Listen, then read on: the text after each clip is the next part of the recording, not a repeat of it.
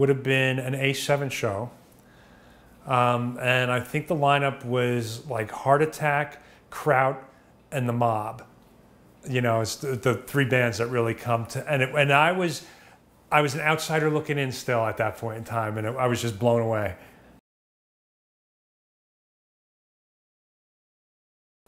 C- giving, giving people haircuts in the bathroom at A7. Wh- Bring, bringing my, bringing my, my, my clipper. I used to carry a little knapsack around with me, and I carried clippers in it.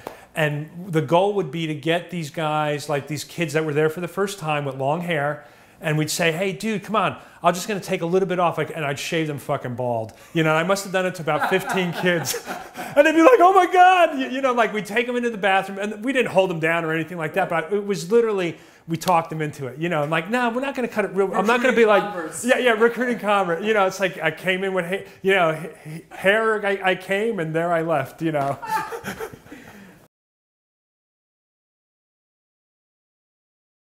All right. There's a couple good. I'm going to say John Watson. John Watson. I bet you he's like high on the list with everybody. John, John Watson. What, what else? What else can I say? I mean, there's a lot of guys had some pretty good style, you know. But John Watson was John Watson. Were the Bad Brains as great as legend has it? better. Uh, uh, the Bad Brains were the epitome of, I think, what we were all trying to be. You know, here, take put it into context a little bit. These guys were probably a good five or six years older, if not even a little bit more than all of us. Uh, they had been together as a band through a couple of, of, of incarnations. I think that they, they'd evolved as a band already, and they were all fantastic musicians. So now you take all this together, uh, and they were just, you know, they were musically tight. Their, their stuff was was was well written from from a music standpoint, um, and they were just they were tight, man. They were they they were on point. So when we were 15 year old kids and we were working our our band, our the, I'm just going to give you the Abused, for instance.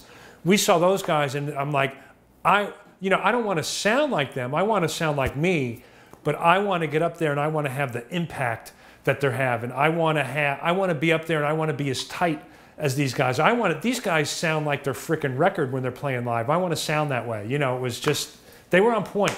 And HR had, uh, and, and they weren't like, they were a little bit different you know, uh, th- than like the straight hardcore bands. But Pay to Cum was probably one of the first hardcore songs I ever listened to, and I was just, and I heard it on a jukebox on in a bar on on Avenue A, or you know, and it was just like like wow.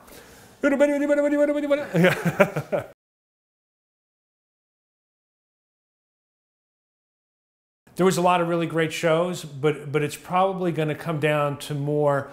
Uh, probably the first time I saw the Bad Brains at, at Irving Plaza because I'd been to some a few hardcore shows at that time. Never, they weren't doing shows at CB's yet. Really, there was never in a venue of that stature had I seen a show and it was and it was and it was packed, and and they just blew us away. So a lot of it, not to say that there weren't some really great shows afterwards, but I I was already had a taste of greatness. Uh, y- if you understand what I'm saying, Uh, you know, because the CB's venue was great, but you know, I mean, there was some great shows I saw with Minor Threat and, and SS Decontrol, and and you know, I got, I mean, Suicidal Tendencies, all you know, all these bands, but that was such an influential show on me that I was just like, uh, it was just awesome, and and a lot of stuff happened though that night too. I got, it was in the middle of winter. It was a February show it was the show I first started. We first started handing out my coming soon flyer for the Abused. I was out there like handing flyers out,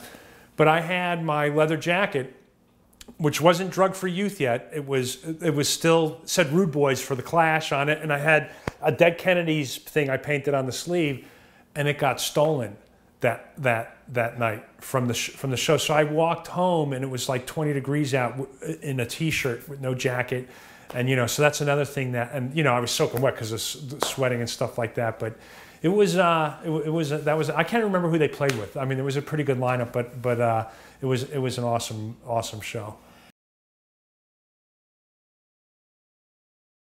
pretty much I, I was at any show because I was in walk within walking distance. You know, there might have, there were shows that I might have missed because I couldn't get a ride to where the show was, or like. Uh, but but nah, I I don't have any regrets about shows that I missed. There's pro- probably more regrets about maybe like having not had opportunity to play shows with certain bands. You, you, you know, like I would have been great if we could have done that, or or having had opportunities to play certain venues ourselves with, my own band. Is is hardcore dead? I don't think something like that ever dies. I think it just evolves, um, and maybe its meaning changes. So, is the hardcore that, or, or what I would view as hardcore? If I saw, let's just put it to you this way: if if if you brought what people are saying is hardcore now to me in 1981, would I recognize it as hardcore? Maybe not. You, you, know, but it doesn't mean that it's dead. It just means that it's that it that it that it's evolved. So uh, for some people, they think, hey, is, if it's not, if it doesn't meet the criteria of what I considered hardcore when I was hardcore, it doesn't exist anymore. And that's not the that's not the case. Like you say, it's the it's the lexicon. It just, hey, we we we were the kindling, you know, and then everybody's going to throw a log on the fire, you know, and and hardcore as a genre may be dead, but it, but it will never die because it has it, it, it had it's, it had children. You, you know, there's all this influence influence in, in other forms of music. Uh, you go you can't go to any regular show now and not have a mosh pit.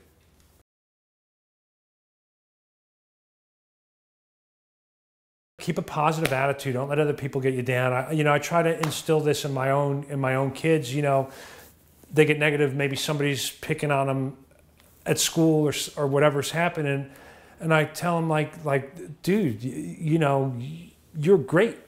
You know, why, why are you going to let somebody else bring you down to, to, to, to, to their level? Just, you know, you don't have to be, hey, everybody is special, but nobody's special, right? You, you know, don't, don't, just be who you are. Be comfortable, be, hey, nobody's perfect either. Don't, don't, don't try to be perfect at, at anything. I'm not, you know, just gotta, gotta, gotta, gotta love yourself.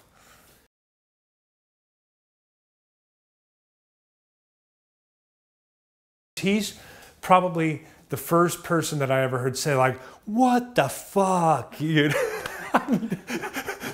so it'd be more of a WTF moment, you, you know. So uh, kind of every time I, I, I, write WTF or, or I hear "What the fuck," I kind of picture Vinny.